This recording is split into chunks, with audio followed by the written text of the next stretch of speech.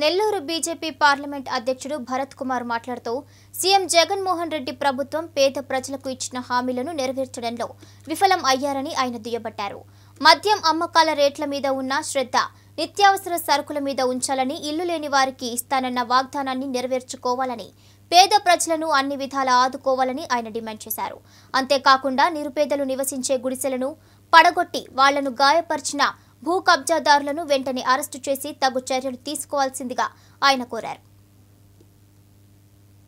పీకేయడం దౌర్జన్యం చేయడం ఆక్రమించడం భూములు ఆక్రమించడం ఎంత దుర్మార్గం చేస్తున్నారో మనందరం కూడా చూస్తూ ఉన్నాం.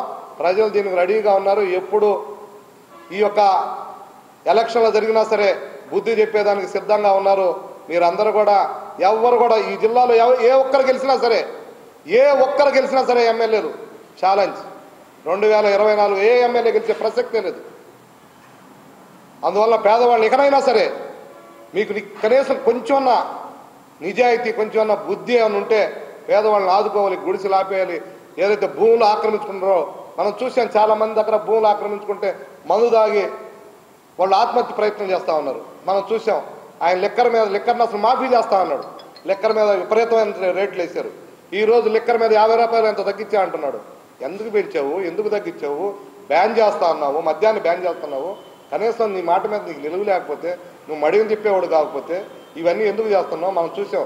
సినిమా టికెట్లు సినిమా టికెట్లో ఎవరన్నా ప్రశాంతత కోసం చాలామంది సినిమాకి వెళ్తారు.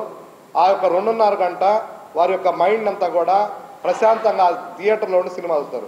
థియేటర్లో కూడా టికెట్ల అమ్మే పరిస్థితి జగన్మోహన్ రెడ్డి ప్రభుత్వం వచ్చిందంటే సిగ్గుండాలి ప్రభుత్వానికి.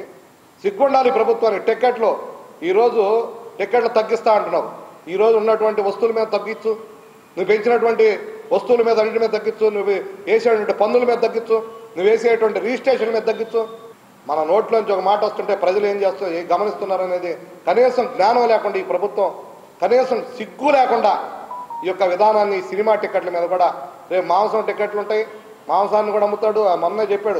చేపలు అమ్ముతా అంటున్నాడు. ఇక ఏ యా ఇసుక వ్యాపారం అయిందే బ్రాండ్ వ్యాపారం అయింది మొత్తం ప్రభుత్వందేనా ప్రభుత్వం చేస్తే ప్రజలు ఎవరే ఉండొద్దా అంటే ఇంటికి భోజనాలు if you like this video please like it share it and for more videos please subscribe to our channel